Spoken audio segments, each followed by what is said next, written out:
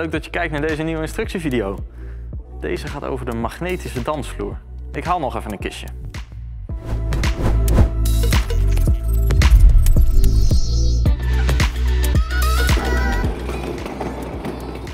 Zo, daar hebben we ze.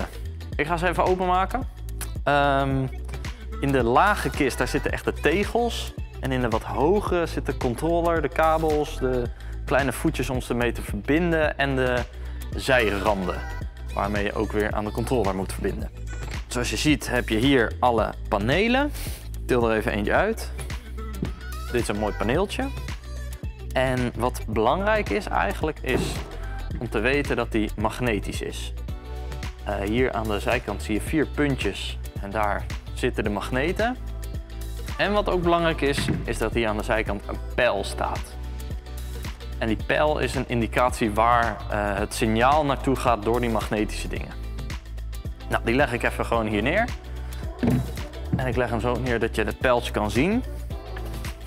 En ik leg er even twee naast elkaar. Om ook te laten zien dat die aan elkaar klikt. Kijk, dan klikt die al aan elkaar. Maar nu heb ik eigenlijk ook die pootjes nodig. Nou, dan doen we even de andere kist open. En hierin hebben we van dit soort pootjes. Dat zijn de mooie pootjes. Pak ik ook even gelijk de controller erbij. Zo. Met het mooie stroomkabeltje. En dan pak ik ook nog even zo'n zijrand erbij. Dit is de zijrand. Zijrand zit hier een aansluitingje en ook weer die magnetische dingen. Ik doe even deze pootjes eronder. Gaat heel makkelijk als je eerst de ene gewoon erin doet.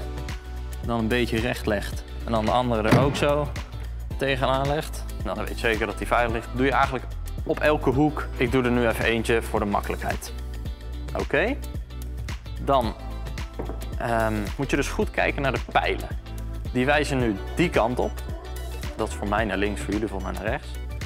Maar waar de pijl begint, daar doe je de, de, de rand. Die klik je er ook aan. Is ook magnetisch. En dan moet je goed nadenken dat de aansluiting, die kabel, dat je die aansluit op de controller.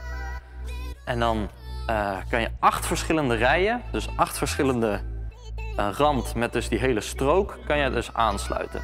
Want hier zie je op de controller dat je acht ingangen hebt.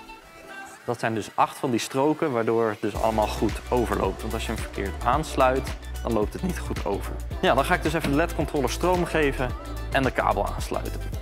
Dan doe ik hier voor jullie kant de andere kant voor de LED-controller. Hier onderin heb je stroom. Nou, heel simpel, gewoon erin klikken en draaien. En dan knopje aan.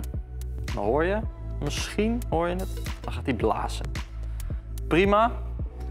En wat belangrijk is, is dat hier nog PC on en SD on staat.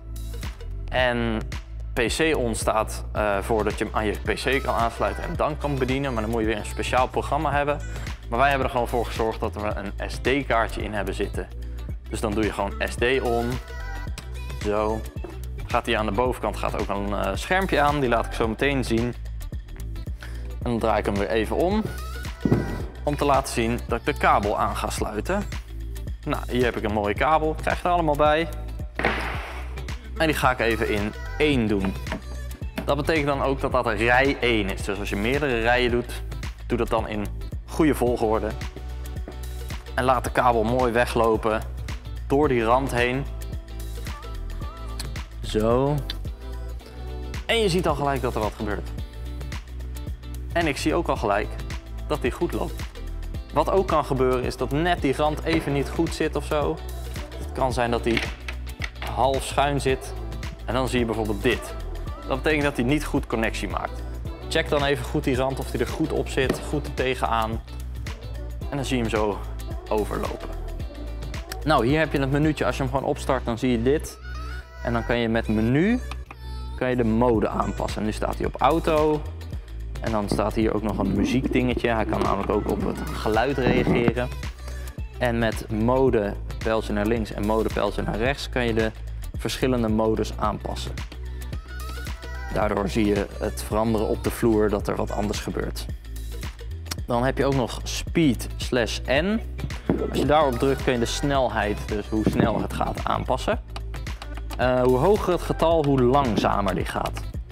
Ik snap ook niet wie dat heeft bedacht, maar dat is gewoon zo. Dus 3 is het allersnelst. En hoe hoger, hoe sneller. Nou, nu pak ik weer even een leuk uh, vormpje. Kijk, zo. En doe ik hem even op het snelst. Dan kan je dat mooi zien. En dit is dus eigenlijk hoe de dansvloer werkt. Ik ga er nog een rij bij leggen, zodat je kan zien dat hij ook goed overloopt daar naartoe. Dus dan pak ik weer een tegel. Kijk ik goed naar het pijltje. Die gaat nu de verkeerde kant op, dus die draai ik even om. Leg ik hem weer in dat gootje die ik al neer had gelegd. Ik zie dat mijn tafel een beetje klein is, ik schuif een beetje op. Zo. Pak ik er nog een. Goed kijken naar het pijltje. En magnetisch klikt die alweer aan elkaar. De lampen doen het natuurlijk nog niet. Want ik heb een rand nodig. Nou, die klik ik hier weer erbij. Zorg ik dat die goed aangesloten zit. Pak ik een kabeltje erbij. En die doe ik dan hier dus in output 2. Doe ik die daarbij. Omdat dat de volgende rij is. En die doe ik dan hier erbij. Dus begin als je voor de dansvloer staat bij je rand helemaal links. Leg daar de eerste rij hoe lang je hem wil. En ga dan langzaam naar de volgende rij naar rechts toe. Dus links is rij 1, output 1. En zo ga je dan helemaal naar rechts. Dit was de instructievideo over een magnetische dansvloer. Als je verder nog vragen hebt, laat het ons weten, bel ons gerust en dan helpen we je graag verder.